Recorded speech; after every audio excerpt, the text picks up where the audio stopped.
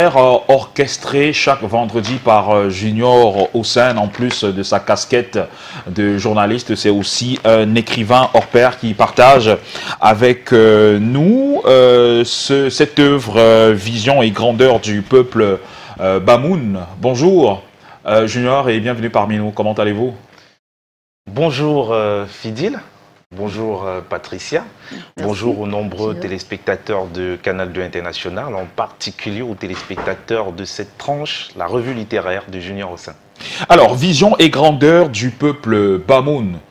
Je crois que là, on fait une fleur euh, au peuple Bamoun, qui certainement nous regarde. Est-ce que vous pouvez nous en dire davantage là-dessus? En tout cas, il le fallait, Fidi, il le fallait. Mm-hmm. Toute une semaine à pleurer un roi et enfin avoir un nouveau roi. Donc il fallait justement que mes lectures me poussent à fouiller un tout petit peu dans cet univers pour trouver un ouvrage aussi magnifique. Et ben oui, je suis tombé sur ce coffret assez exceptionnel que je vous invite d'ailleurs à retrouver dans pas mal de librairies et de bibliothèques au Cameroun et partout à l'étranger.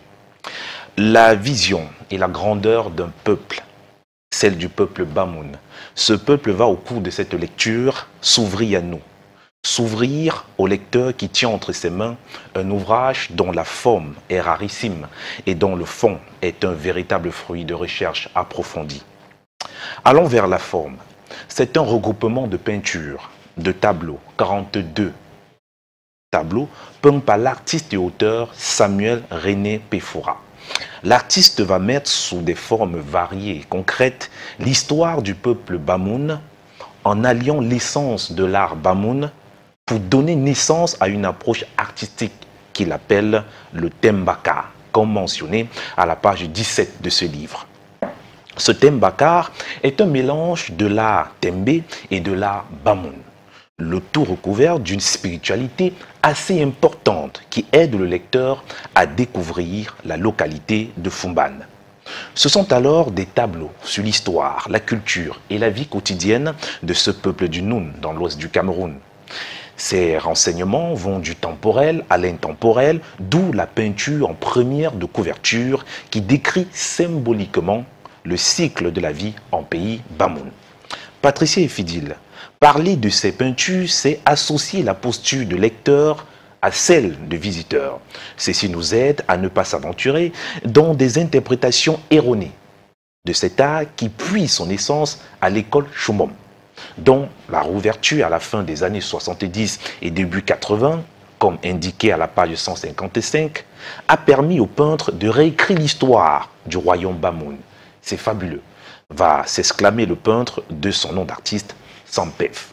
Sur le fond, c'est 161 pages de récits poétiques, des textes rédigés par un homme de lettres, Serge Gongan, qui, sous les 42 tableaux de Sampef, aborde avec une lucidité, une philosophie africaine, plusieurs thématiques provoquées par les différentes peintures, à l'instar des thèmes sur les rois bâtisseurs chez les Bamoun, que l'on découvre à la page 39, le roi Njoya et son génie manifeste, à lire à la page 55, les festivités en pays Bamoun, relatées à la page 67, le paysage et la splendeur de la communauté Bamoun, à voir et à lire à la page 79, la famille, la société la patrie, à découvrir à la page 91, et enfin la spiritualité et la religion, abordées à la page 109 de ce livre A, livre coécrit par deux auteurs issus de la diaspora camerounaise. Merci beaucoup, Junior. On n'est peut-être pas euh, aussi rapproché des hiéroglyphes euh, utilisés justement dans l'Égypte antique, mais on reste dans les symboles. Alors, que nous disent ces tableaux? Effectivement, vous le voyez en image. Hein. Euh, un royaume, ce sont ses rois.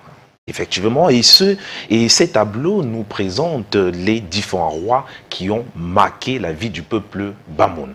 On retrouve le Fom Charé, fondateur du royaume Bamoun, en 1394, qui régna de 1394 à 1418.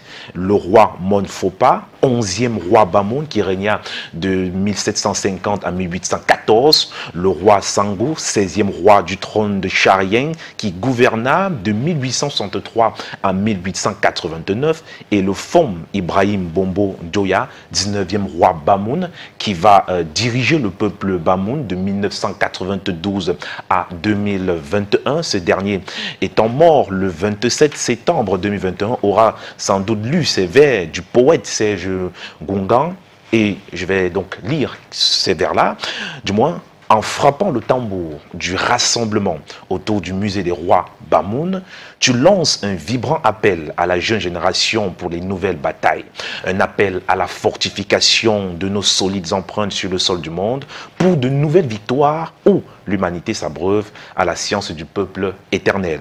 Et une particularité dans ce livre, Fidjil et Patricia, eh bien, les poèmes ont des titres uniquement en Chipamem. Donc euh, c'est la langue Bamoun, hein, je prononce sans doute mal, mais euh, ils corrigeront sans doute à la maison. Hein, Chipamen, c'est une langue, c'est la langue Bamoun parlée par environ 420 000 locuteurs. Et bien sûr, le closet qui se trouve aux pages 144 et 145 revient sur ces mots pour une définition ou une explication en français facile.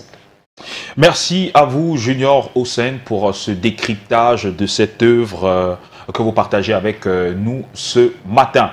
Le week-end, euh, pour vous, comment est-ce qu'il s'annonce? Écoutez, le week-end, comme, comme chaque week-end, c'est du travail. Il faudrait que j'entame la lecture d'un autre livre pour vendredi. Du coup, vous voyez, c'est un livre par semaine.